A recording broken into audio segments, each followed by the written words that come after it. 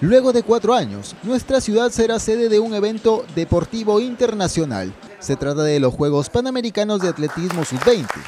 La décima novena edición del certamen se disputará en el Estadio Chanchán del 21 al 23 de este mes.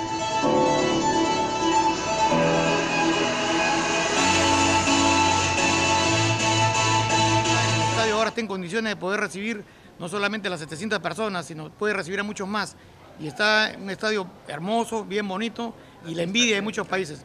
La pista atlética está bien, está muy bien, va a ser lavada en estos días y va a quedar como nueva para el campeonato. Los mejores atletas de la categoría, de 32 países del continente americano, llegarán a nuestra ciudad.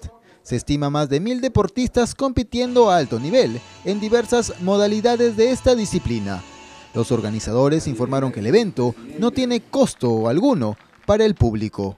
Es gratuito, en el deporte no se cobra y tratamos de que todos puedan apreciar la calidad y la, de los atletas que vienen, que son bastante fuertes, en el caso de Jamaica, Estados Unidos. Entre ellos está Estados Unidos, está este, Canadá, Argentina, Brasil, Perú, Chile, Ecuador, Puerto Rico, este, las Islas Kit, este, Jamaica. El estadio Chanchán tiene una capacidad para 5.000 espectadores.